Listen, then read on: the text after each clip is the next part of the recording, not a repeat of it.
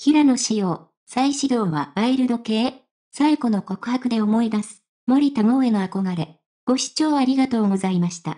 素早く最新情報をもらえるようにチャンネル登録ボタンをよろしくお願いいたします。ありがとうございます。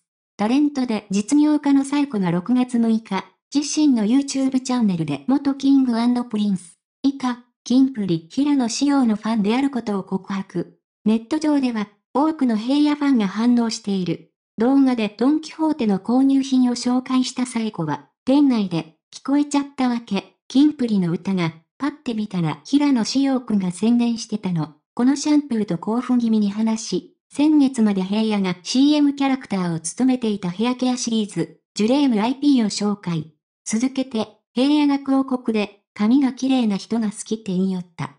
だから買ってみた。平野くん、に、使われちゃったら、もう無理よ。全部買っちゃうから、平野くんがいいって言ってるから、いいと思うと語り、同時に、大田区発動、ただの推し活などのテロップが表示された。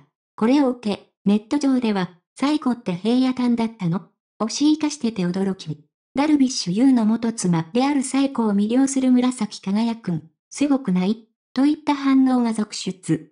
さらに、最後がかつて TBS 系バラエティ番組、学校へ行こう、レ V6、森田剛と共演していたことを想起した人も多いようで、紫輝くんが憧れてる剛くんと共演してた最後が、紫輝くんを推してるなんてなんか嬉しいねと好意的な声も見られる。平野仕様の強めパーマは、森田剛の影響を、平野が山下智久に憧れていることは有名ですが、近年は森田のこともリスペクトしていた様子。2021年11月に配信されたインスタライブで、平野は V6 のラストコンサートで目にした森田の姿に一目惚れしたそうで、特に髪型をめちゃくちゃかっこいいと思ったと語っていました。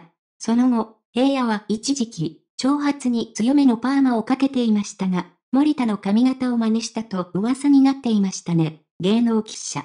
そんな平野は、先月22日をもってジャニーズ事務所を退所。一部週刊誌は、1年ほどの活動休止を経て、海外での活躍を目指して再始動するのではないかと報じている。ジャニーズ時代は王子様イメージの強かった平野ですが、その素顔はワイルド系と言われています。そのため、平野が今後、タトゥーを入れるのではないかと予想するファンもいるようです。どう？最古のみならず、芸能界にもファンが多い平野。最古の告白を、平野はどこかで見ているのだろうか。中曽根由紀子、エンタメライター。芸能誌の編集を経て、現在は国内国外ドラマレビューを中心に執筆するライター。人気俳優のインタビュー経験多数。